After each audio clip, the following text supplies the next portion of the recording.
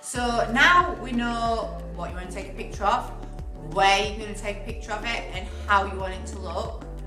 We get to the technical part of how do you now achieve that. Okay, how do you take this picture? So, firstly, the very first thing we need to think about is what device are you using? Okay, are you using a camera? Are you using a mobile phone? Are you using an iPad or Android device? It matter what you use. That's what you need to know.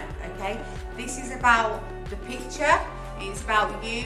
It's not about um, what camera you've used or how you've achieved it. Okay, so use whatever you can.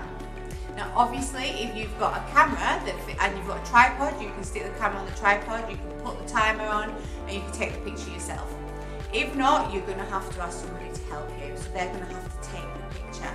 So hopefully, most are um, bubbled up with someone, or you've got someone that lives in the same household as